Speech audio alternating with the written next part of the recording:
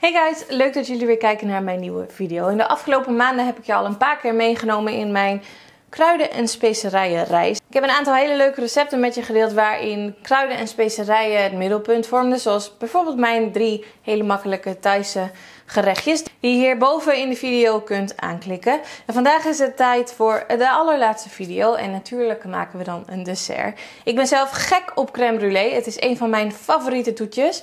Maar zo nu en dan vind ik het wel een beetje saai worden. Altijd maar die vanille crème brûlée. Je kunt er namelijk heel erg leuk mee variëren. En dat is precies wat ik je vandaag ga laten zien. En uiteraard gebruik ik hier ook weer verschillende kruiden en specerijen voor.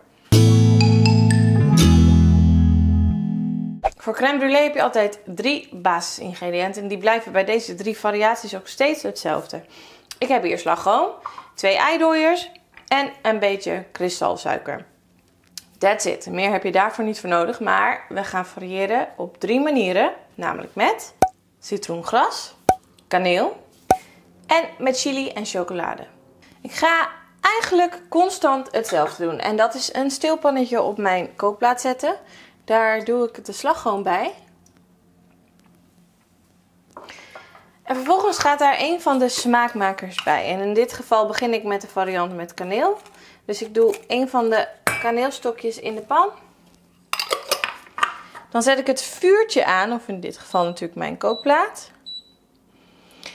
En dan laat ik de slagroom op laag vuur ongeveer 5, 5 à 7 minuutjes trekken. Net zolang totdat die kaneelsmaak er lekker in kan trekken. Terwijl de slagroom en kaneel op het vuur staan, voeg ik de suiker bij twee eidooiers. En dit klop ik eventjes op. Hoeft helemaal niet zo heel erg lang, maar je wil wel zorgen dat die suiker en die ei goed gemengd zijn. En je zult zien dat die eidooiers dan op een gegeven moment ietsjes lichter van kleur gaat zijn. En dat is precies wat je wil. Als het kaneelstokje dan heel eventjes in de slagroom heeft getrokken, halen we het kaneelstokje uit de slagroom. En terwijl we dan weer dat ei en die suiker roeren, schenken we daar de warme slagroom bij. En zorg er echt voor dat je nu blijft roeren, want je wil natuurlijk niet dat er klontjes in je custard komt zometeen. Goed blijven roeren, eigenlijk net zo lang totdat je mengsel wat dikker wordt. En dan pak ik mijn ovenschaaltjes erbij. En dan schenk ik dat, die kaneelcustard in dit geval in die ovenschaaltjes.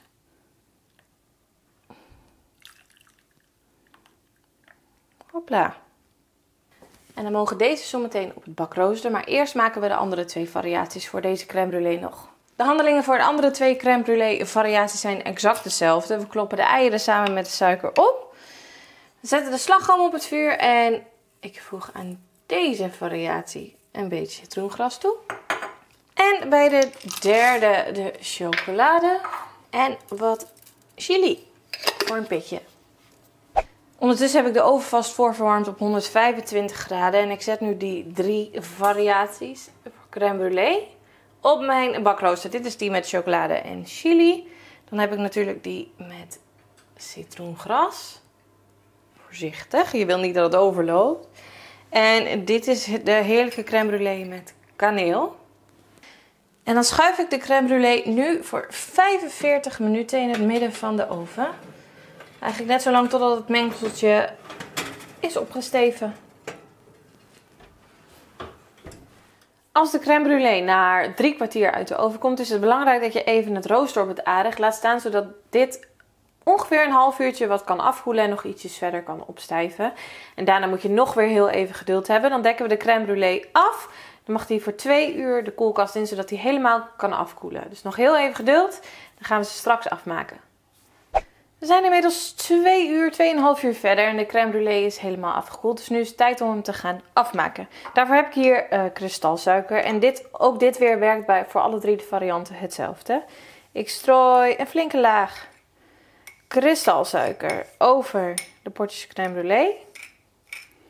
Even een beetje verdelen met je lepeltje als dat lukt. Je wil niet een hele dikke laag suiker. Maar je wil wel dat de suiker de crème brûlée helemaal bedekt. Dus smeer het echt een klein beetje uit met behulp van een lepeltje. Oeh. Dan pak ik mijn crème brûlée brander erbij. En die heb je helaas wel echt nodig voor dit recept. Ik zet hem aan. En dan hoef ik eigenlijk alleen de suiker nog maar te branden. Doe dit voorzichtig. Je wil dat de suiker bruin kleurt, niet dat die verbrandt. Kijk, je ziet het al als ik met dat vlammetje eroverheen ga. Kijk, oh, lekkere bruine laag suiker.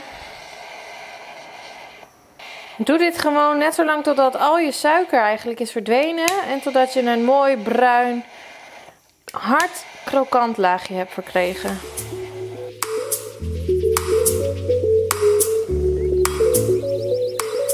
Alright, laten we gauw gaan proeven.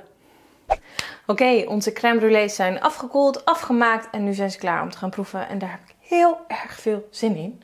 Ik ga beginnen met die met kaneel. Ik kan jullie helaas het krokante korstje niet meer laten zien, want ik heb de crème brûlées al op de foto gezet. Maar misschien hoor je het als ik het proef. Dus bon appetit. Mm. Heel erg lekker. Uh, de volgende is die met citroengras. En daar verwacht ik wel echt een hele aparte andere smaak in. Oh, oh hoor. Precies zoals crème brûlée hoort te zijn. Ook heel erg lekker. Heel fris. En dan de allerlaatste. Met chili en chocolade. Mm. Hoor je dat? Super krokant korstje. De chocolade proef je natuurlijk door de hele crème brûlée heen. Want de het is chocoladecustard. Die chili geeft het echt zo'n kleine kick achter in je keel. Als je het hebt doorgeslikt, denk je... Oh, wacht, nu gaat er iets gebeuren. Heel erg verrassend, heel erg lekker. En ook zeker een hele leuke variatie. Goed, dat waren mijn drie variaties op crème brûlée. Ik hoop dat je het leuk vond om te zien. Heb je nou nog vragen aan de hand van deze recepten? Laat me dat dan zeker even weten, want dan help ik je er graag mee. Verder, vergeet ook niet even om de website van Aroma te checken voor nog veel meer inspiratie voor lekkere desserts met kruiden en specerijen. Bedankt voor het kijken. Hopelijk zie ik je dan gauw weer. Doei! Oh ja, mocht je nou alle uitgeschreven recepten willen zien, check even de link in de beschrijving. Dan ga je naar mijn blog omafoodness.nl. Daar leg ik je alles nog een keertje stap voor stap uit. Bye!